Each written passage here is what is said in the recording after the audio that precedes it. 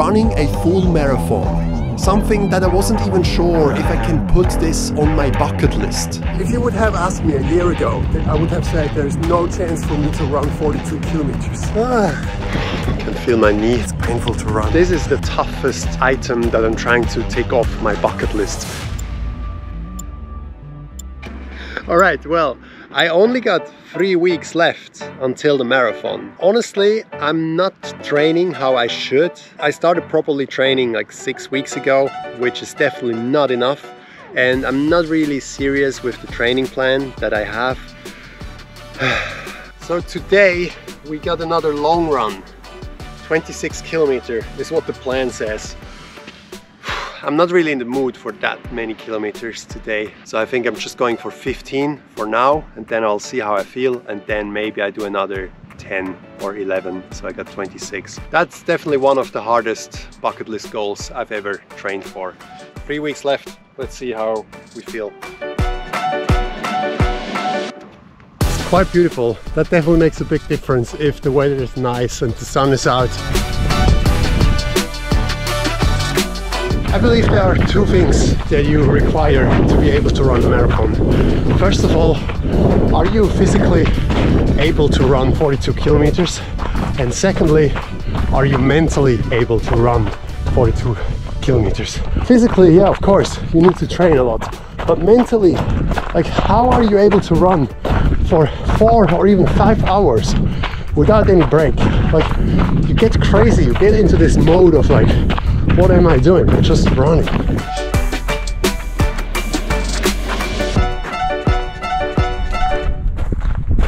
All right, 21 kilometers. I definitely fell into this flow state where I was just running and kind of forgot what I'm doing.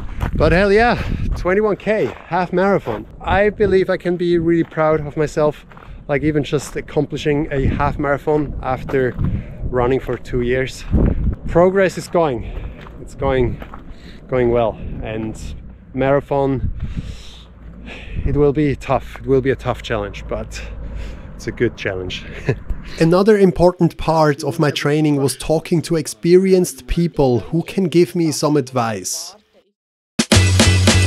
All right, two and a half weeks left. I'm in Vienna and I'm doing a middle long run. I'm a beautiful Southport today and I'm doing a fast run ah, ah, interval is a bit long run here in Paris. Ah, 10k today. Don't really know what's going on. I've Always got this pain on the side of my chest. This, uh, yeah, I don't know the English word for it. Seitenstechen. Keeps me up from going faster, which is kind of annoying. One week left until the marathon, and this is my last long run. Yeah, so incredible.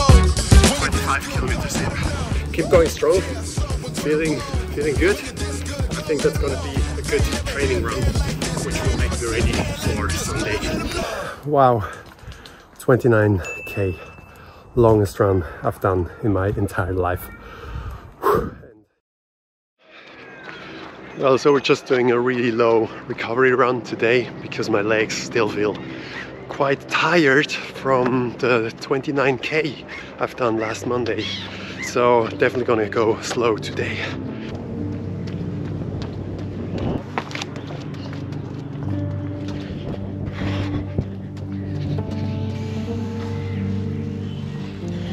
Yeah, I can feel my knee a little bit from uh, from last Monday's run. Might have been a little bit too much impact. But yeah, I'm trying to keep going now. Yeah, so even though it's a low impact run, I could still feel my knee.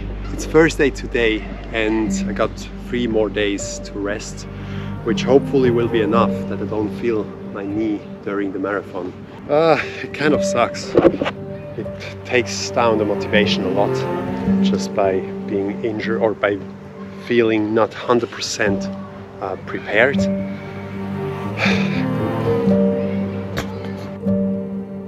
so far this is definitely the toughest item that I'm trying to take off my bucket list. Like if you think about that I only started running two years ago and even back then when I started three kilometers was a long distance like it was really hard to do so it would have never ever crossed my mind to one day run a marathon or let alone have this goal of completing a full marathon. But here I am. I will run a full marathon this coming Sunday. You know, I created this bucket list with 100 things to show that it's okay to have those big goals, to have dreams where others might think they're impossible for you to achieve. I really hope that by making this video I can inspire some of you to go after your bucket list as well.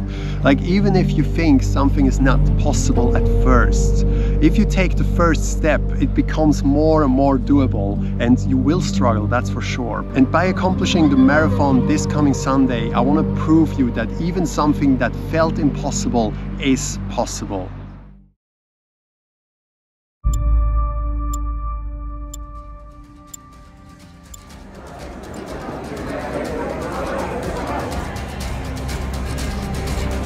Wow, this is bonkers. So much going on, it's crazy.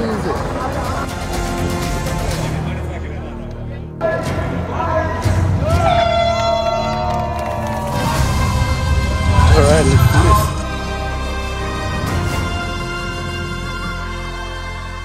All right. kilometer 10. And my knee is feeling okay. Uh, yeah, I was so worried about it. This, this is where I live. It's quite cool too pass by at home. I'm feeling great.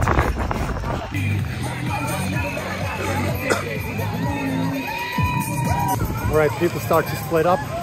Marathon on the left, half marathon on the right. It's kind of good because people are going out of the way, so there's more room to run. Okay, half timer. So my current pace is at 6.15 which I'm quite happy about because it's quite consistent. And if I can keep going like this, I should hit my goal of running the full marathon in four and a half hours. ja, hey, danke für die Energie. Viel Spaß, gell? Ja, danke schön.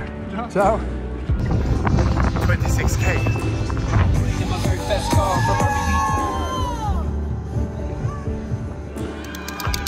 Ah, danke.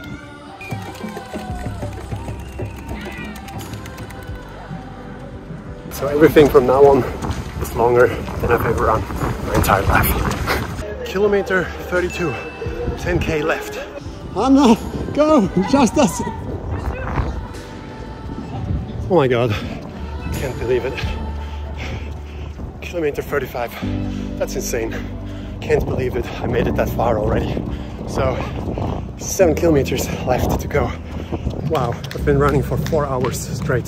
That's insane.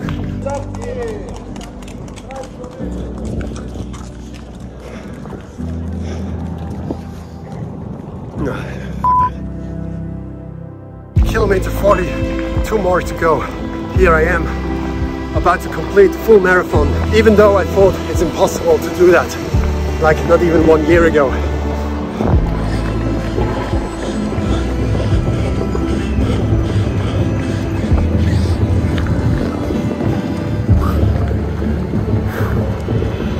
This is to every one of you who doesn't believe in themselves. If you start taking the first step, you will notice that you're capable of doing so much more than you believe. You're capable of achieving the dreams. You're capable of achieving what you want. Just take the first step and start going.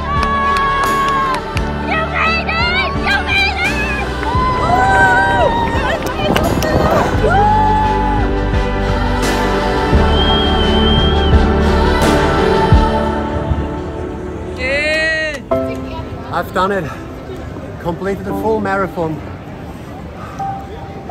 Ah, it's unbelievable. I've done it. Another item off the list.